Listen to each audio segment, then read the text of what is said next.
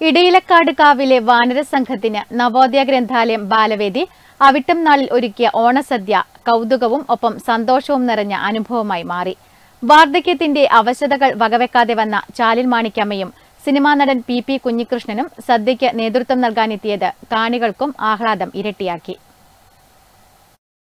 നവോദയ ഗ്രന്ഥാലയം ബാലവേദി സംഘടിപ്പിച്ച വാനരർക്കുള്ള പതിനാറാമത് ഓണസദ്യയിൽ പതിനാറ് വിഭവങ്ങളാണ് ഉപ്പ് ചേർക്കാത്ത ചോറിനൊപ്പം വിളമ്പിയത്.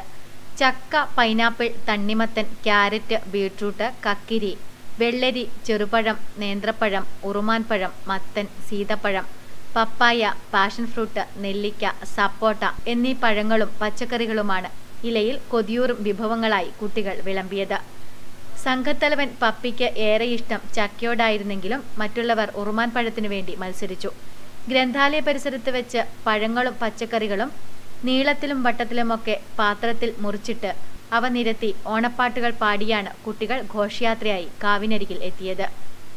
ഡെസ്കുകളിലും കസേരകളിലും നേരത്തെ തന്നെ വാനരപ്പട ഇരിപ്പുറപ്പിച്ചിരുന്നു. പൂക്കൾ കൊണ്ടുള്ള അലങ്കാരങ്ങൾ തൂക്കിയിട്ടത് സദ്യയ്ക്ക് കൂടുതൽ പൊലിമയേകി. ഓണാഘോഷം സർവ ജീവജാലങ്ങൾക്കും ഉള്ളതാണെന്നും വാനരരുടെ പ്രത്യുൽപാദനത്തെ ബാധിക്കാത്ത പഴങ്ങളും പച്ചക്കറികളുമാണ് ഭക്ഷണമായി നൽകേണ്ടതെന്നുമുള്ള നിർദ്ദേശം വിളംബരം ചെയ്തുകൊണ്ടായിരുന്നു വാനരസദ്യ നടത്തിയത്.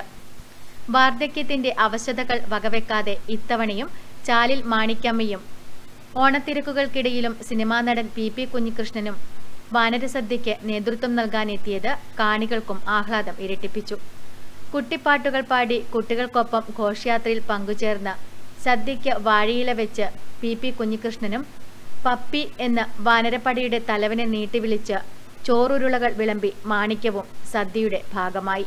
Hosdurg taluk library council president P Venugopalan ഗ്രന്ഥാലയം secretary V K Karunakaran Balavedi convener M Babu പരിസ്ഥിതി പ്രവർത്തകൻ Anand Pekkadam P V Sureshan A Sumesh M Krishnan P Sudheer N K Satheesan C Jalaja Swathi Viswanath എന്നിവർ വാനരസദ്യയ്ക്ക് നേതൃത്വം നൽകി.